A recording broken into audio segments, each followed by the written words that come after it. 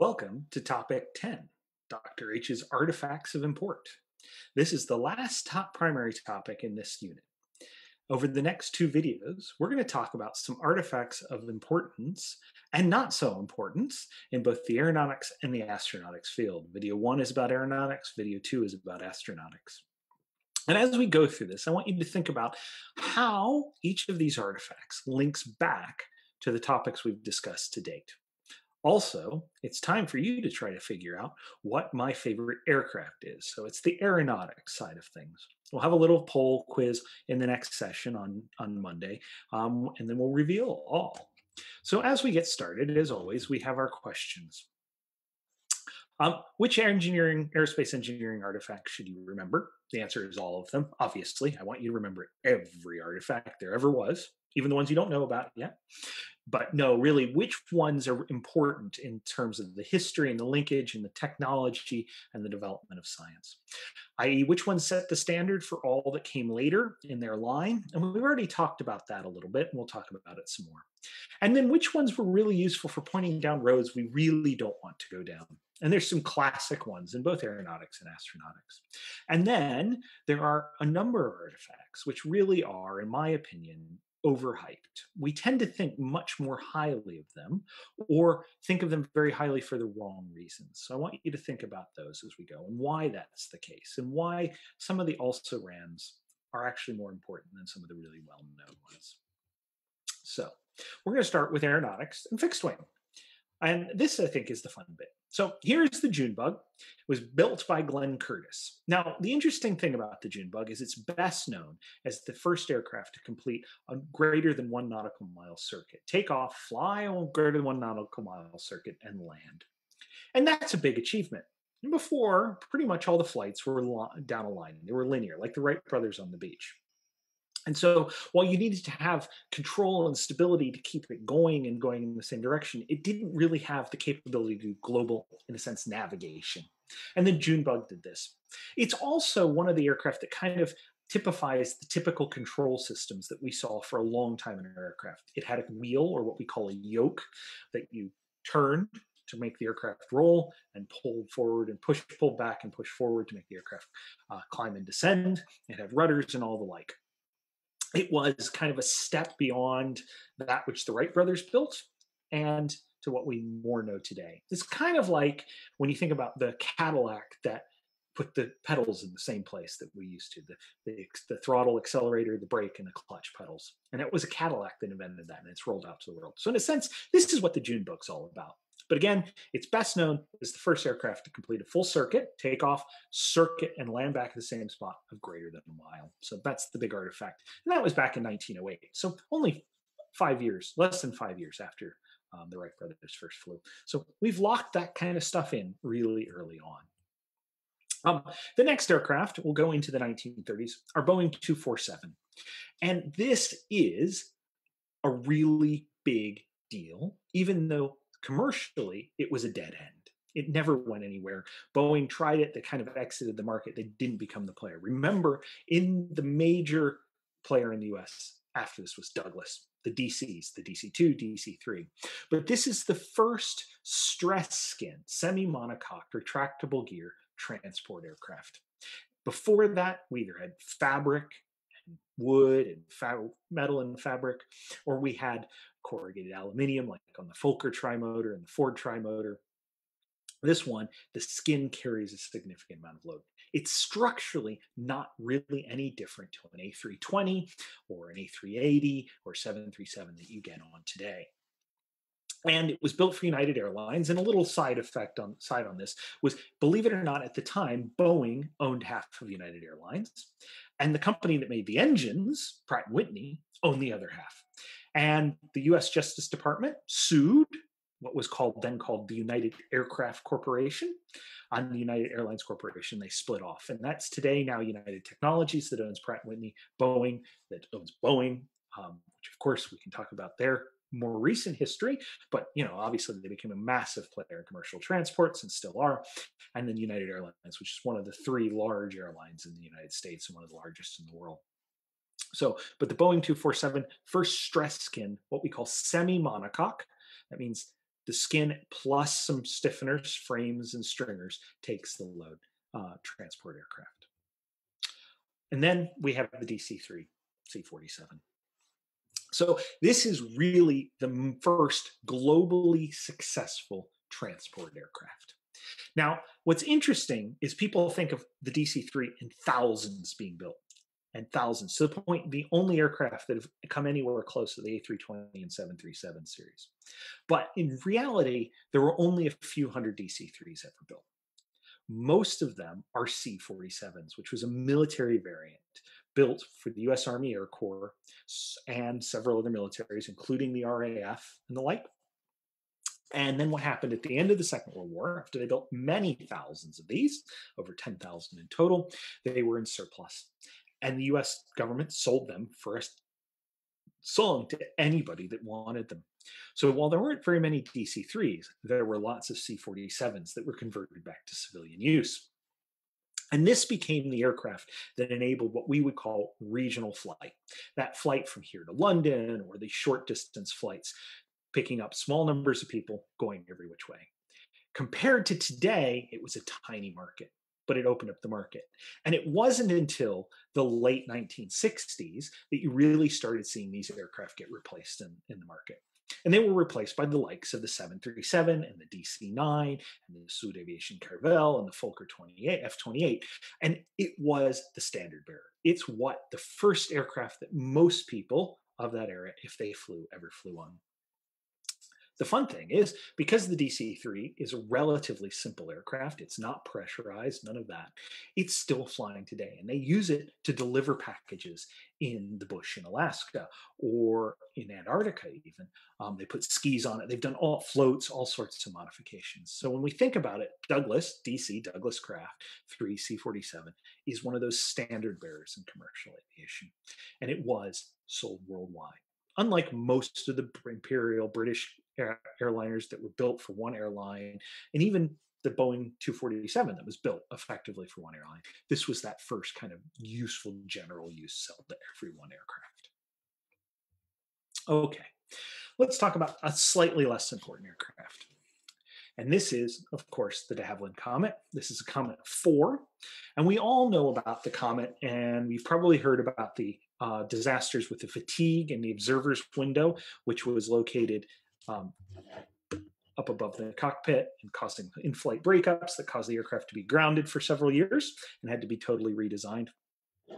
And it's people say it's because we didn't understand metal fatigue. We understood metal fatigue.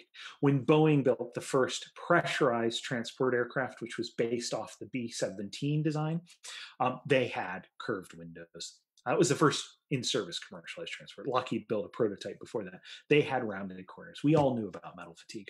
What we didn't understand was um, kind of how, where the breakpoints were in the design. But that's not the reason the Comet really was not that important. It wasn't important because it was quickly superseded by overall better configurations. We don't see aircraft that look like the Comet today with the mildly swept wing, the unswept empennage, the engines in the wing root. It just doesn't scale. It's not economically successful in that sense. And there were much better designs. We see that today in everything. The A320, the A350, the A380, the 737, 777, they don't look like a Comet. They look like a different aircraft. They look like this which is actually a bomber. This is the US B 47, Boeing B 47. And this is the first example of a highly swept, thin wing, underslung out in front nacelle jet transport. The Americans developed some of this technology on their own.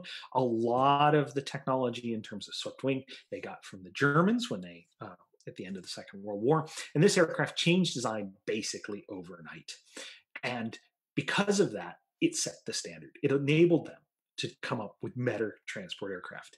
And in fact, it wasn't just this design that evolved, it was the need to service this aircraft because this is a strategic bomber. It's a medium bomber versus the B 52, which is a heavy bomber, and it had to be refueled.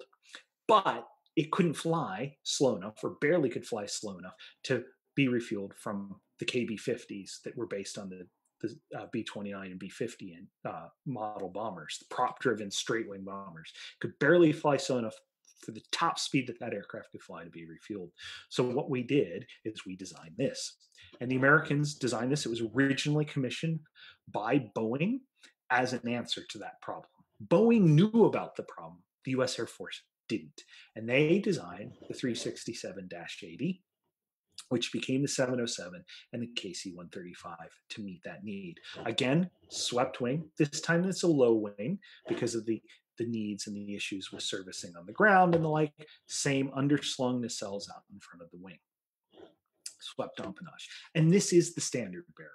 Now, an interesting story about this is this aircraft was designed and had a fuselage diameter. It's the same fuselage diameter that's in the KC-135 uh, refueling and transport aircraft it is not the same air fuselage that was used in the 707 and then ultimately later in the 727 737 and 757 at least the upper above the passenger cabin diameter.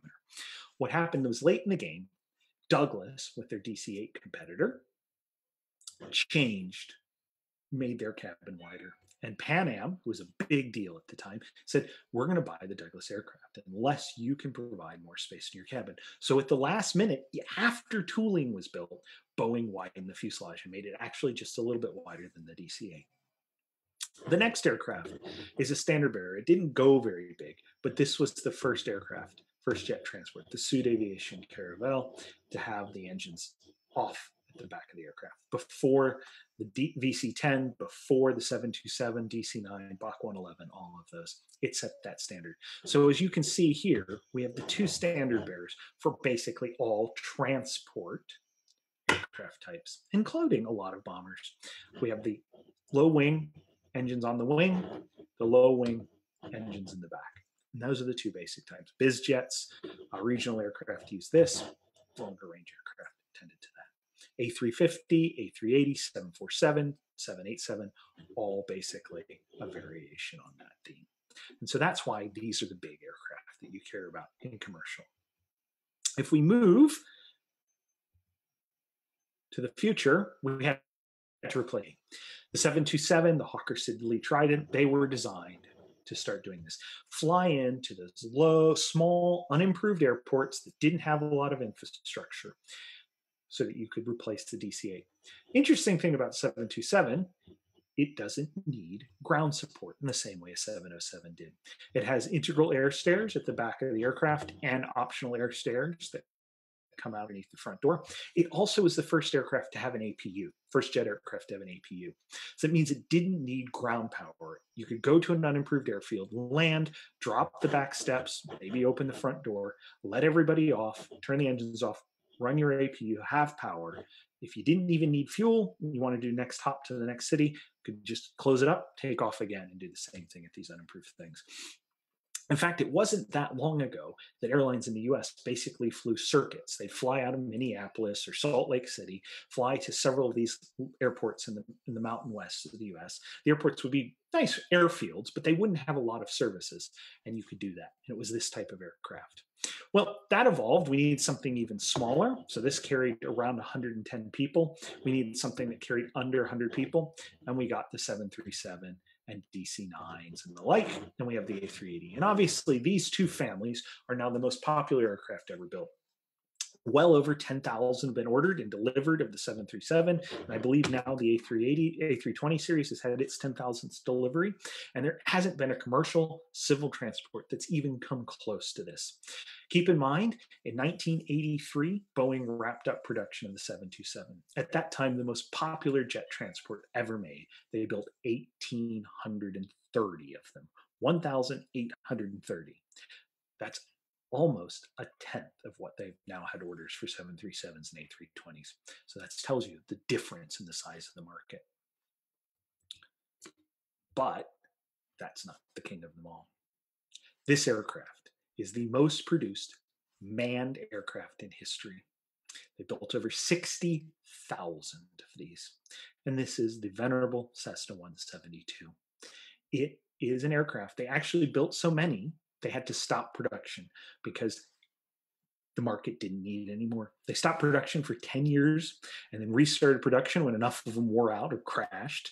And it is kind of the standard bearer as a trainer aircraft. They call this the automatic landing aircraft because if you're a student pilot on final approach and things are getting a little hairy, you can literally just let go, put your hands behind your head, and in most cases, the plane will land itself. Not smoothly, not nice, it won't be comfortable, but you aren't going to prang it. It takes effort to break this aircraft.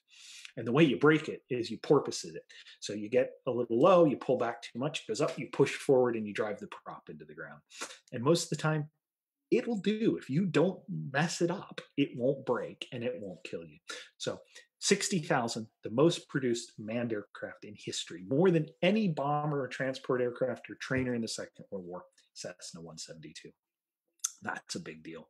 Now that compare that 60,000 aircraft over 70 years versus 850,000 pickup trucks, F1, Ford F-150s in the U.S. alone per year. We're talking massively different scales, but that's the king of them all. Okay, let's move on to military aircraft, jets. So ME-262. This is the first truly combat jet aircraft to see service in combat. Now, at the same time that the Germans were developing their jet fighters, so were the British with the Gloster Meteor. What was the difference? Well, one, the Germans were losing the war. They were getting bombed constantly. We had strategic bombers, 750 to 1,000 bomber flights bombing a city, firebombing Hamburg or Dresden or any of that. and then the German regime really wanted something that could answer that. And there wasn't anything that the Allies had that could answer this, save maybe the Gloster Meteor. But while the Germans were desperate, the British were not at this point, and they didn't want to lose any of their precious Gloster meteors, so they actually held them back. Now, which aircraft was a better aircraft? There's a lot of debate. A lot of people would say this one is, but it's a moot point. They never really saw action against each other because of that. But this is that first point, and it really showed the advantage. It showed the end of the piston era. For all of the flaws of the early jets, all of the high fuel consumption, all of that, it was a much simpler design. It was going had a had place to grow. The piston engines were massive. They were unreliable. In fact, more B-29s were lost, and we'll talk about B-29s in a minute, were lost to engine fires than to enemy action. And it was because of the complex systems and complex engines. And the future was the jet. Another aircraft that was very important, one that doesn't get its due, I want you to think about what this is. Everybody knows about the Spitfire, but most people tend not to remember the Hawker Hurricane. And this was the aircraft that actually won the Battle of Britain. It was the aircraft that they could produce enough of to the point that they had more aircraft and pilots were the concern.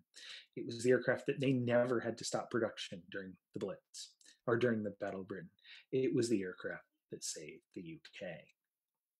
So remember, it doesn't get its due. It turns out to be more important in many respects than its more famous and really more capable sister. But this one was much easier to build. It was wooden fabric, tubular in fabric, with a metal wing. It didn't have that highly contoured elliptical wing that's finicky and hard to build. You could mass produce this aircraft. You couldn't mass produce early Spitfires. And then there's this one. Now, this is the B 29, the super fortress. It was the largest of the heavy bombers built during the Second World War to see service. It is also best known as the only aircraft to operationally drop and deploy a nuclear weapon. So, two atomic bombs on Hiroshima and Nagasaki. And the purpose of this aircraft really was to be able to bomb Germany from North America or Iceland. And this is why the Americans invaded Iceland and they didn't really invade Iceland. They were, Iceland invited them, but that's why they so they could theoretically use this aircraft there. But the more interesting thing is at the time, this was the most expensive weapon system ever developed anywhere in the world. Boeing and the US Army Air Corps spent more money, more time than the Manhattan Project by a long shot. It was such a big deal. And just the computers, the analog computers that controlled the guns was such a big deal that when these would be landed and ditched in the Soviet Union, doing reconnaissance runs off Japan when they had ran it, or bombing runs off Japan when they had engine trouble or the like, Just that alone, just breaking those systems down, advanced the Soviet analog computing system by 10 years in the span of 8 to 12 months. It was a big deal. It was so complex, so cumbersome. It was such a big uh, problematic aircraft, but it was also very successful. Again, most expensive weapon system ever developed at the end of the Second World War. This is where we started talking about systems engineering. So when you hear about systems engineering, the failure and success of the B 29 program was part of it. Now, I said more of these were lost to engine fires than enemy action. These highly complex multiple row radial engines had turbo superchargers on the top. Got very, very hot. Radial engines are well known for leaking a lot of oil. In fact, most of these aircraft for the B 29 were limited not by fuel, range was not limited by fuel capacity, but by oil capacity. So the engines would leak oil, they leak it onto the turbo supercharger, it would catch fire. The turbo supercharger was made of magnesium, that would catch fire. Magnesium fires are very bad. You don't want that. Would burn through the wing spar, wing would fall off, plane would crash. That's why we lost a lot. And it was that that really convinced the Americans that they needed something better. And they ultimately went to jets because of that. Okay, some also rans, some not so important aircraft. So we have these three aircraft. And the first one is the US uh, North American XB 70. It was the prototype for a 5,000 nautical mile range, 25 ton payload Mach 3 cruise strategic bomber, ultimately to replace the B 52. The reason it's an also ran is at the same time, the advancements of ICBMs and SAM surface air missiles rendered this corner obsolete. It was a corner, it wasn't any place it wasn't going to develop anymore. But this aircraft and this aircraft have approximately the same payload. Now, this is obviously designed to carry people and baggage. This was designed to carry nuclear weapons. They're not exactly the same. So, internal volume, usable volume on this is much higher than this. But this has ultimately had about a 2,700 nautical, 3,000 nautical mile range. This had a 5,500 nautical mile range. It was only about 25% more massive of an aircraft. It flew at Mach 3. We talk about Concorde as having the best ML over D of any aircraft ever. No, this was even better. Um, it advanced materials manufacturing significantly, but as an aircraft, it was a dead end program we learned a lot when NASA took this over and flew it. Um, and they actually built two of them. And the better one was lost in a mid-air collision. We can talk more about that if you want. And that was used and available for these kind of developments on Concorde and, of course, the Tu-144. Now, the interesting thing is all of these aircraft were designed to cruise at supersonic speeds. And Concorde actually holds the record for most hours of a fleet of aircraft flown at supersonic speeds. No other aircraft comes close. The closest maybe is the SR 71, and that's still well behind.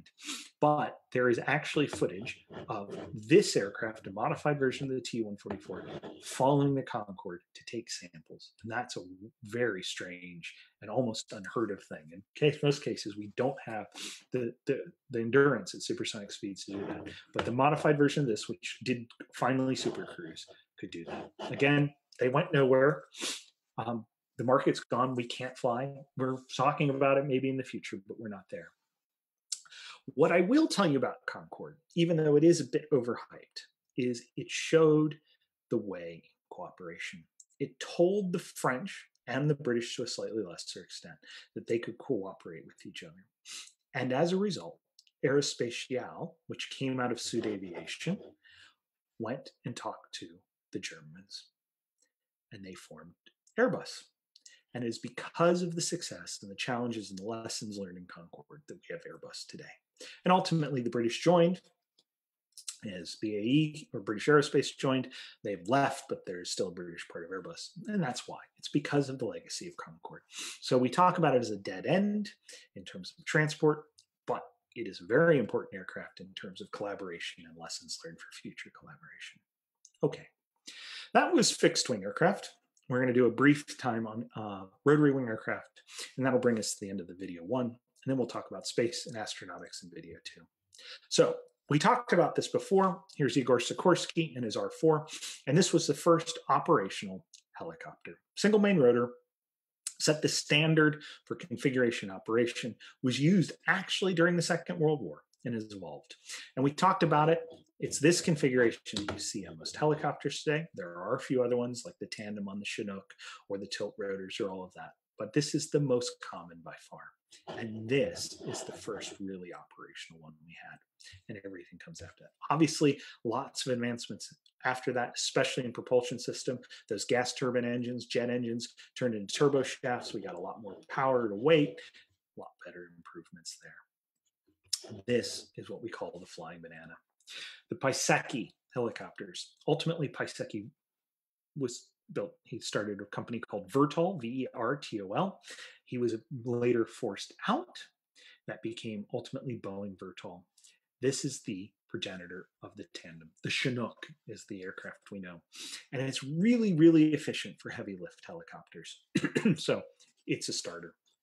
It was built to do servicing ships. Um, the U.S. Navy used to use these for resupply and also to move uh, amphibious assaults. Um, the C-46, which that's been replaced by the CV-22, the tilt rotor, um, but the Chinook lives on, and it is a beast of a helicopter. In fact, in places like Afghanistan at high altitude, it has much better payload performance than almost any other military helicopter out there. And so it's a testament to that design. Um, but this is the king of rotorcraft. It wasn't that long ago we wouldn't have talked about this, but the advent of the drone, the multi-rotor drone, there are more of these have been built and sold in the last five years than helicopters in history and helicopters in history. And this really is the future in a lot of respects. It's simple. It only works because of flight automated flight control there is no way that a human can reliably control those four motors individually but a computer can do it for you can do it fast enough can keep that and it makes it much easier to fly. It is the simplified way. And this is now scaling up so we're getting manned versions of these multi-rotors 16 20 32 rotors. Not necessarily the most efficient designs believe um, imaginable but easy to do easy to scale. All due to the advent of microprocessors and microcontrollers and very light, high power density electric motors. Okay, so that brings us to the end of artifacts of import in aeronautics. Somewhere in there was my favorite aircraft. I want you to think about it, see if you can guess. You can talk to anybody you want. We're going to have that in the quiz. In video number two, we're going to go through astronautics, both launch vehicles and satellites, and talk about it in the same way. I thank you very much and hope to see you then.